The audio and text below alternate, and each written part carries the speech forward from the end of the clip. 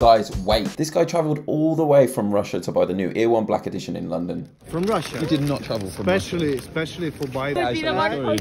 Guys, this weekend we set up our first ever kiosk in London, and there you can pick up before release the new Ear One Black Edition. Guys, the main takeaway for us is that you guys are absolute vibes. Our community is beautiful, honestly. He, see, this guy's an absolute hero. He waited in line from 7 a.m. while we were setting up the kiosk at 5 a.m.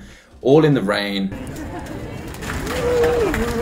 Honestly, the dedication, the belief, and the love is just something else, man. For real though, shout out this guy. If anyone knows who he is, please tag him. We want to know who he is. We're trying to hook him up. Although he's wearing Sony's there at the beginning. I hope you swap that out.